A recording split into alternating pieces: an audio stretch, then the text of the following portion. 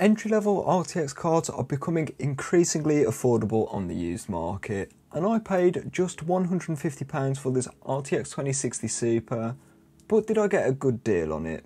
Well, to find out, I've paired it up against games at both 1080p and 1440p, so let's see how it gets on in 2023. This model of the RTX 2060 is the Zotac Mini, and to be fair, I think it's a pretty decent card. When I bought it, it was incredibly dirty, but in typical Pro Yam Yam PC fashion, we gave this GPU a good deep clean. I even had to run the cooling shroud and even the cooler itself under the tap because it was just so dirty. Also, I gave it some fresh thermal paste as well, so this thing will be performing at its best today. At its core, the RTX 2060 Super has 2176 CUDA cores. Alongside this is 8GB of GDDR6 memory, which runs through a 256-bit bus, a memory config that actually makes sense unlike the RTX 4060. However, these specs allow the RTX 2060 to perform similar to an RX 6600 from AMD or even a 2070 non-super, which is a bit weird because Nvidia kind of cannibalized their own stack back in 2019. As this is an RTX card, there are both RT and Tensor cores packed inside of this thing.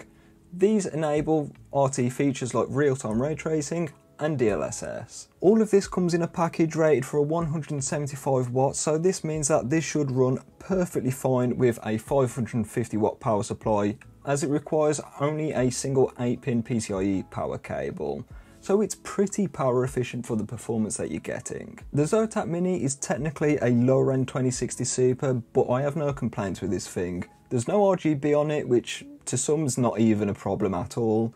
And the thing that matters is the cooling, and this is good because it only stayed in the low 70s while gaming, which is pretty good for a card this small. It also has an aluminium backplate which does help with the cooling, and it also adds to the overall aesthetics and quality feel of this graphics card. So as far as I'm concerned, the Zotac Mini is a decent model. I've put the RTX 2060 Super up against a suite of games at both 1080p and 1440p, and as I have sold my test bench now, all testing has been done on my main system, which is actually my test bench again. However, the specs are a Intel Core i7 13700K clocked at 5.3 GHz, 32GB of dual channel DDR5 memory running at 5600 MHz CL36, a Samsung 980 Pro NVMe Gen 4 SSD, and an MSI Z690 Force Wi-Fi. I've done some tweaking to the RTX 2060 Super and I've added plus 90 MHz on the core and I've added 500 MHz onto the GDDR6 memory. This should be pretty obtainable for any RTX 2060 Super out there. So let's see how this thing gets on in 2023. First game up is Forza Horizon 5. This Microsoft racing game does look very good on the Ultra preset and that's what I went with today. Here at 1080p it got 74 FPS on average with a 1% low of 62 FPS. Switching this up to 1440p sees a reduction of 13.5% in the average frame rate going down to 64 FPS on average with a 1% low of 54. So both resolutions, this game is totally playable. It's a racing game, so you'd probably want a bit more frame rate there, but it's kind of a casual one at the same time. So I think 64 FPS at 1440p is totally fine in this game, and the game looks absolutely amazing at 1440p with this preset enabled. So Forza Horizon 5, totally fine. Another racing game is F1 23 and this is the newest game in my benchmarking list today. With the very high preset enabled, rasterization performance was not too bad if I'm honest, leaving 86 FPS on average with 73 FPS for the 1% low. Upping the resolution to 1440p drops the average frame rate by 18.6% going down to 70 FPS on average with a 1% low of 59 FPS. So if you're playing F1 23 on a 2060 Super, I'd probably recommend the high preset or maybe even the medium preset if you want that extra frame rate because yes, 86 and 70 FPS on average for 1080p and 1440 40p respectively is not bad, but in a game where you want a lot of frame rate, it's not technically ideal, is it? So yeah, use the medium or high preset in this game. Switching up to ray tracing though, as F1 23 does have that, and yeah, I wouldn't recommend this at all. This drops down the frame rate to 45 FPS on average at 1080p, and it drops it down to just 31 at 1440p. Don't use ray tracing in this game, it does look quite a bit better, but it's not worth the performance dip, especially in a racing game like this. Fortnite is up next, and for some reason the high preset on this game is just ridiculously intensive. I don't quite know why. However, at 1080p, the 2060 Super got 70 FPS on average, with a 1% low of 55 FPS. Switching this up to 1440p sees a massive reduction of 35% in the average frame rate, going down to 45 FPS on average. This is not great, especially in a game like Fortnite. It's not really that playable. And yeah, I don't recommend this preset for pretty much anyone who's playing this game. Maybe if you're playing Save the World at 1080p on a 2060 Super, 70 FPS is not too bad there. However, using my more competitive settings with the DirectX 12 API, at 1080p we see 246 FPS on average, which is a ton better in this game. So if you've got 240Hz panel, these settings are totally fine. Switching up to 1440p sees a reduction of 21% with the average frame rate, going down to 194, and there's a 1% low of 133. Still, yet again, totally playable if you've got a 144Hz 1440p panel. Use these settings in Fortnite, you'll be having a blast here. Cyberpunk is up next, and we actually got away with the high preset here, which is kind of unheard of here on the channel, but still at 1080p, the 2060 Super got 73 FPS on average with a 1% low of 56 FPS. The game looks good, no complaints here. Switching this up to 1440p, this sees a drop of 34% in the average frame rate, going down to 48 FPS on average with a 1% low of 34. Here, if you're playing at 1440p, I'd recommend dropping down to the medium preset, and the game should still look pretty decent. You'd be able to keep the textures on high, and I think that is probably the way to go if you're playing at 1440p in Cyberpunk with a 2060 Super. Next game up is Horizon Zero Dawn, and yeah, the 2060 Super performed very well in this game with the favor quality preset enabled. At 1080p, it got 114 FPS on average with a 1% low of 88 FPS. Switching up to 1440p sees a reduction of 31% in the average frame rate going down to 78 FPS on average with 66 for the 1% low. This is totally playable in a game like this. You're aiming for around 60 FPS anyways. The favor quality preset looks great performance is great here as well. You shouldn't have a problem playing Horizon Zero Dawn on a 2060 Super. Doom Eternal is a game that I started testing again because it's very memory intensive. It's not so intensive on the core, more so on the memory, and as we've only got 8GB of VRAM here, I decided to test it. For testing today, the Nightmare preset will do, and at 1080p, the 2060 Super got 194 FPS on average with a 1% low of 143. Performance is totally great here, nice and smooth, no complaint at all. Even switching up to 1440p, this sees a reduction in the average frame rate of 26%, which is lower than average that we've seen today, and it got 142 FPS on average with a 1% low of 108 FPS. If you've got a 144Hz monitor, Nightmare at 1440p in this game, totally fine. I can't really see any issue with the performance here. Switching up to the ray tracing performance in this game though, and yet again, I don't really recommend enabling it because this drops the frame rate down to 75 FPS at 1080p and 63 FPS at 1440p. Yes, this is still technically playable, and even if you enable DLSS and put that onto quality, you'd be getting more frames there, but you're losing over half of your frame rate there, so I don't recommend it at all.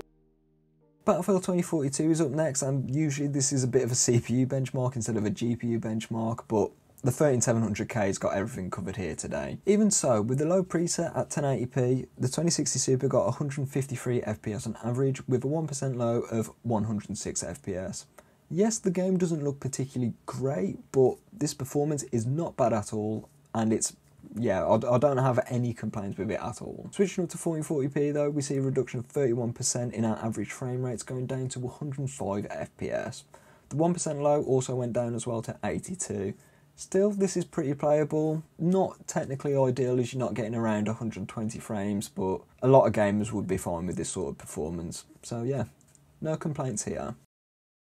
Last game up today is Call of Duty Modern Warfare 2. Setting it to the basic preset here with high textures which we can do at both 1080p and 1440p with no performance impact there. So yeah, I'll take the high textures.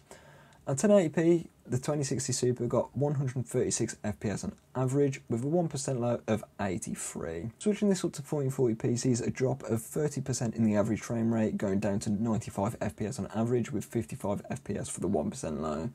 So if you're playing at 1440p, I'd probably recommend enabling DLSS, but 1080p performance totally fine in this first person shooter.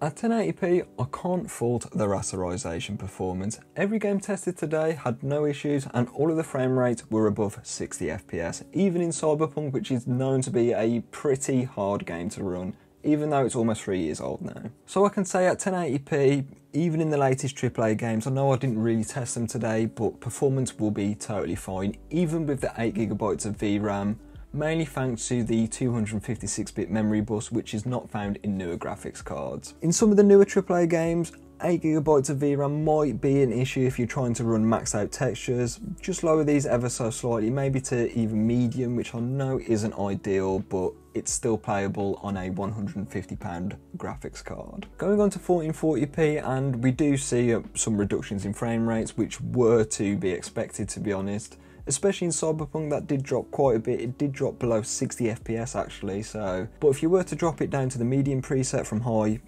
I think you'd still be getting above 60 FPS in that title, and I don't think it'd be a problem. And the extra quality of 1440p would probably make up for the loss in visual fidelity. I would caution you though, as at 1440p in newer games, you will be struggling with the video memory. 8GB is kind of the minimum in 2023, so that is something you should definitely look out for. But if you lower the quality presets down to like medium from high for instance, I think you'll be okay. But if you want a graphics card for esports games at 1440p, say if you've got a 1440p 144Hz monitor, I think the 2060 Super is a totally fine graphics card for you because all of these esports games, they played totally fine on this thing. Ray tracing is technically possible as this is an RTX card, it does have the hardware for it, but then again, I probably wouldn't recommend using ray tracing at all as it's not really doable on a graphics card like this. Because to be honest, if you wanted more graphical fidelity, I think you'd be better off raising your preset from let's say high to very high or ultra. I think that would be a lot more beneficial to you because you would gain some visual fidelity yet you wouldn't lose more than half your frame rate. So yeah, new to my testing is a cost per frame analysis and this sort of allows me to gauge the sort of the value proposition of a graphics card. So at 1080p the cost per frame is £1.17 for the RTX 2060 Super but then again I don't really have anything to compare it against because this is the first time me using cost per frame analysis in one of my videos. Switching up to 1440p and this rises to £1.61 so you're definitely getting more value at 1080p.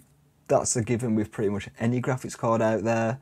But 1440p is still not too bad. So from now on, I will be including cost per frame analysis on every one of my graphics card benchmarking videos and I think it would be a lot more helpful in GPU comparison videos too so make sure you stay watching out for future benchmarking videos from me. So do I recommend the RTX 2060 Super in 2023 and I'd have to say I'm not too sure, and that is because of AMD's Radeon RX 6600. It goes for around £180 brand new here in the UK, and because it's brand new, and because it's brand new, you get no inherent risk, which can come with used graphics cards, and you get your warranty and all of them safety features as well.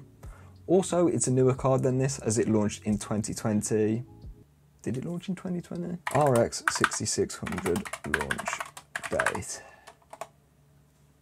Ah. It's two years newer than the RTX 2060 Super, so it would probably get better driver support than the NVIDIA counterpart. But then again, NVIDIA hasn't dropped driver support for the 900 series yet, so I don't think driver support is necessarily a thing you should be worrying about here. So if you don't care about productivity or any of the NVIDIA features like ray tracing or DLSS, the RX 6600 is definitely a graphics card you should consider at this price point. And this is why I wouldn't pay anything over £150 for a used 2060 Super. It's not really worth it over this price point if I'm honest. And anything over, I just would recommend getting a new 6600 because it's just a better value proposition at that point. Yes, it does have the same performance level but you're buying a brand new graphics card. So if you're anything like me and you have a genuine use case for an NVIDIA graphics card like CUDA acceleration, DLSS or real-time ray tracing, even though I don't recommend ray tracing on this graphics card, The RTX 2060 Super is definitely a decent value graphics card, especially in this price bracket. But remember though, don't pay anything over £150 for this graphics card. So with this being said, I'm going to leave this video here. If you like this one, like it, stay subscribed for more tech content, and I'll catch you in the next one.